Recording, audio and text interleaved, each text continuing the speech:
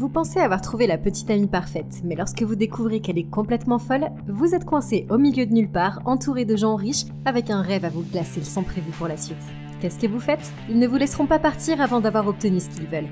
Et si vous ne vous échappez pas, vous allez souhaiter être mort. Je vais vous expliquer les erreurs commises, ce que vous devez faire et comment vaincre Get Out. Un homme noir se promène dans un quartier de banlieue la nuit. Il n'y a personne d'autre et il ne se sent pas à l'aise. Et vous ne voulez pas ça. Ce film vous fait déjà savoir que dans les endroits où vous pensez être en sécurité, eh bien vous ne l'aimez pas. Une étrange voiture blanche commence à le suivre et l'homme fait demi-tour et marche dans l'autre sens.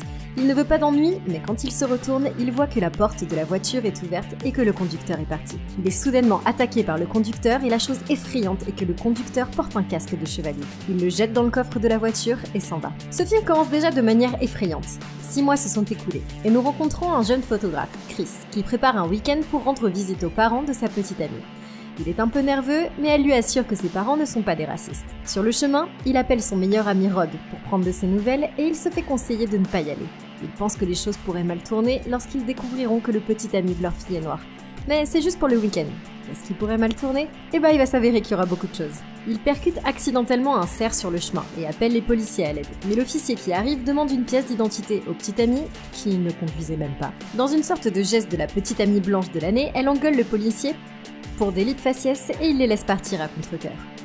Aujourd'hui aux États-Unis, la police ne peut demander une carte d'identité qu'en cas de suspicion raisonnable d'un crime, et vous avez le droit d'enregistrer ce qui se passe en vertu du premier amendement sans dire un mot. Mais lorsque la situation dégénère, il semble que la seule façon de gagner ici, ce soit d'être parrainé par une personne blanche.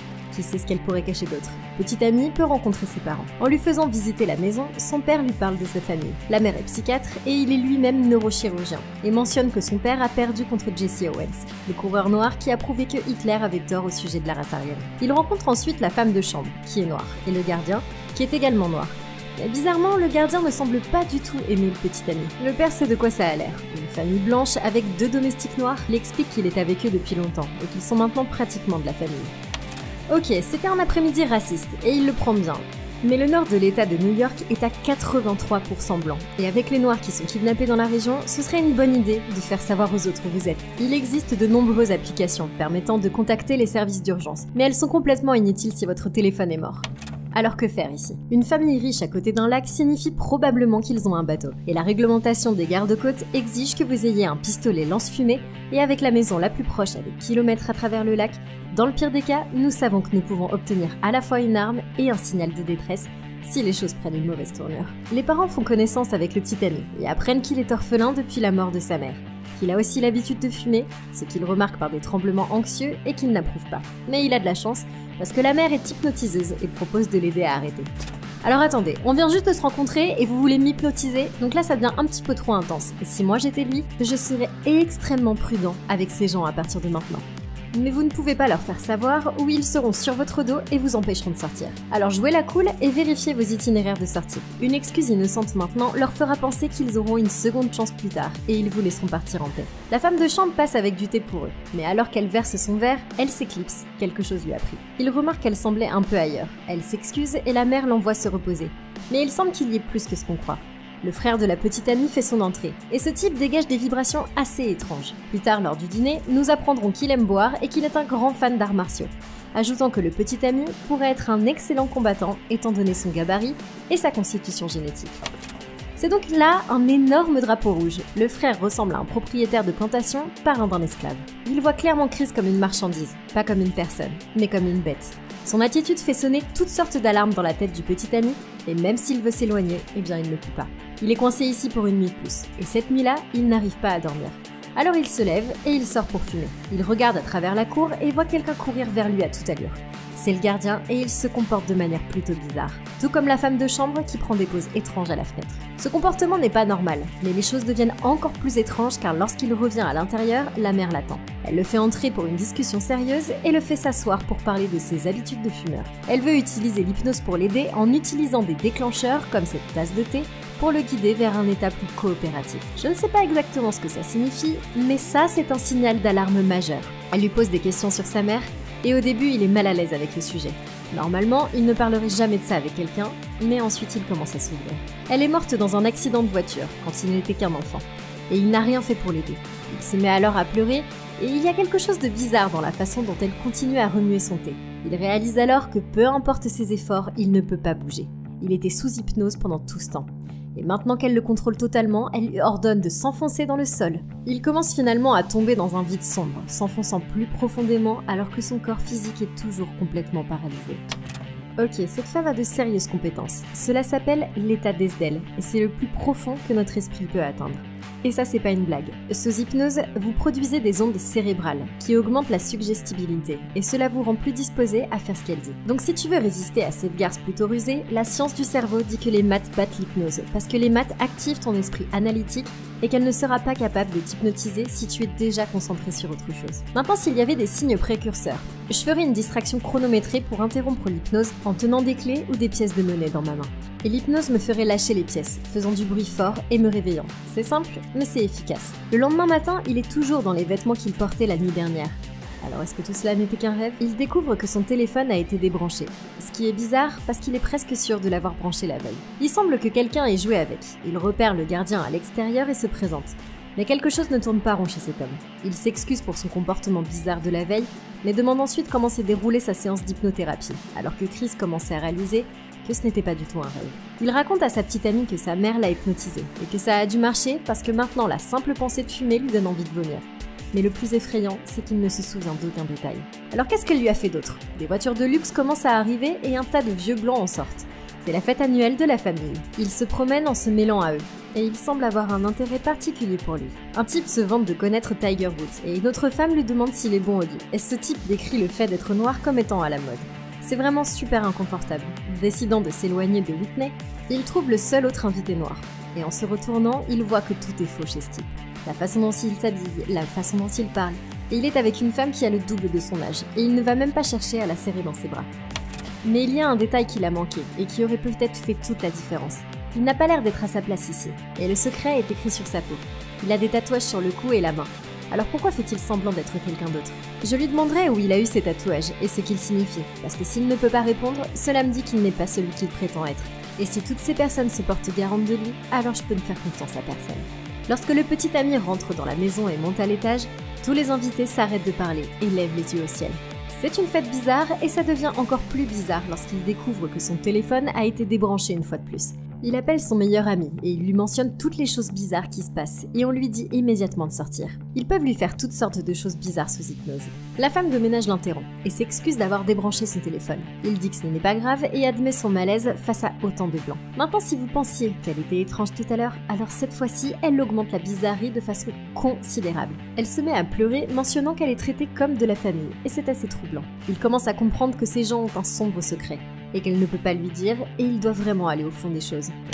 Mais nous savons tous qu'à ce stade, c'est le mauvais choix, n'est-ce pas? Vous avez été hypnotisé. Confirmé, vous êtes surveillé. Confirmé, vos canaux de communication sont perturbés. Confirmé, sortez, sortez, sortez Il descend à temps pour que tous les invités lui demandent Ça fait quoi d'être noir? Le petit ami ne veut pas en entendre parler et passe la question à l'autre. Mais il dit au groupe qu'il n'a eu aucune plainte. Ok.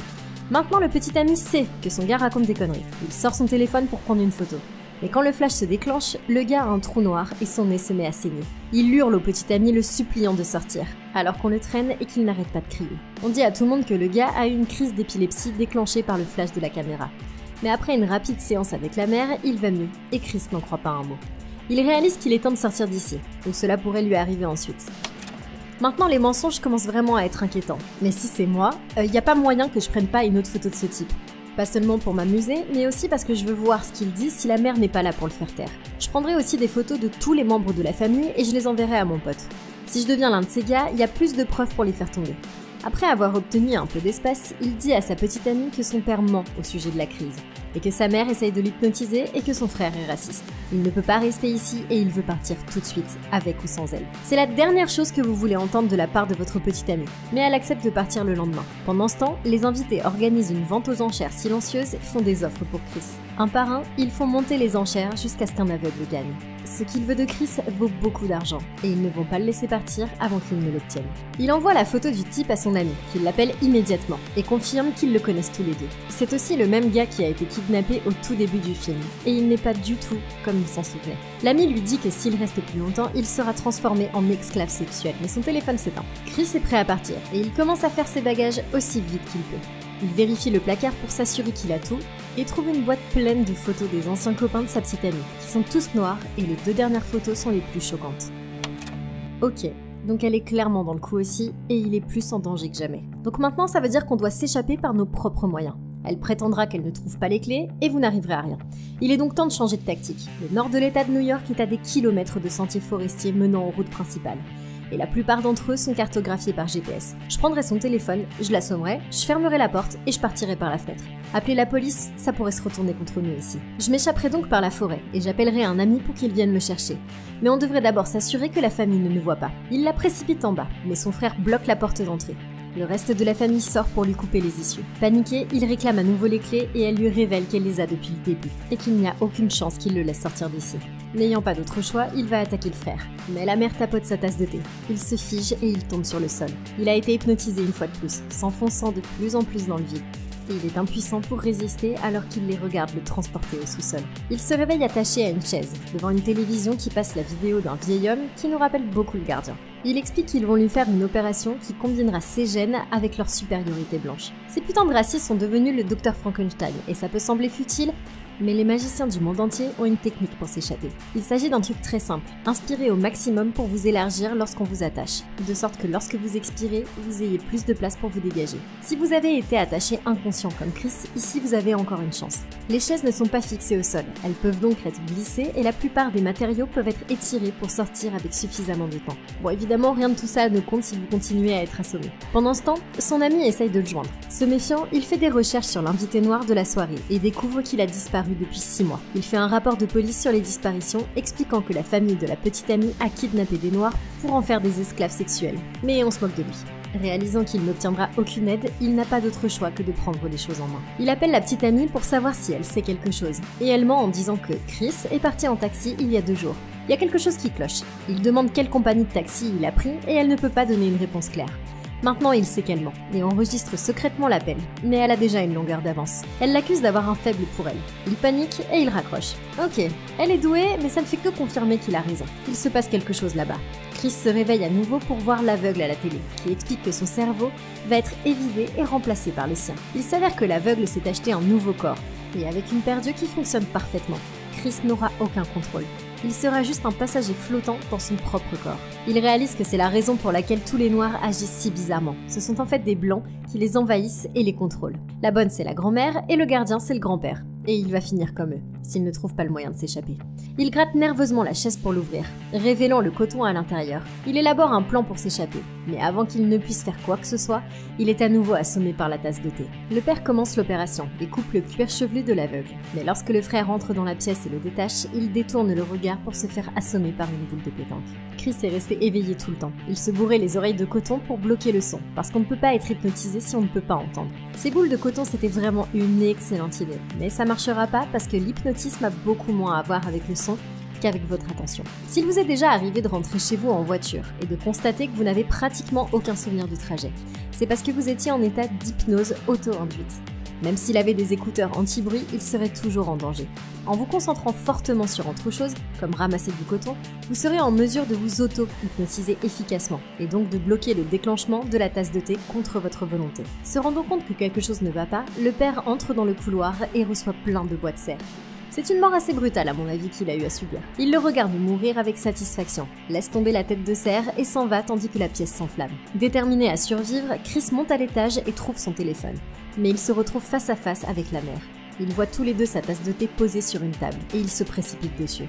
Mais il arrive en premier et la casse. Elle s'empare d'un coupe-papier et le poignarde à la main, mais il ne bronche pas et l'utilise pour la tuer.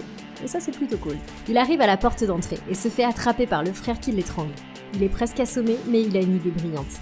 Il ouvre la porte et quand le frère la referme d'un coup de pied, il lui poignarde la jambe. Après l'avoir fait tomber par terre et l'avoir piétiné à mort, il prend ses clés de voiture et il s'en va. Il s'avère que c'est la voiture du frère que nous avons vue tout au début du film. Il s'en sort presque mais s'écrase contre la femme de chambre. Dans la maison, son ex-petite amie cherche sa prochaine cible. Mais le bruit de l'impact l'avertit que quelque chose ne va pas. Alors maintenant, je sais que c'est cruel, mais il va devoir la laisser sur la route. S'il l'emmène à l'hôpital, la grand-mère va crier qu'elle a été kidnappée, et ça ne fera que conduire la police à la série de meurtres que vous avez laissés derrière.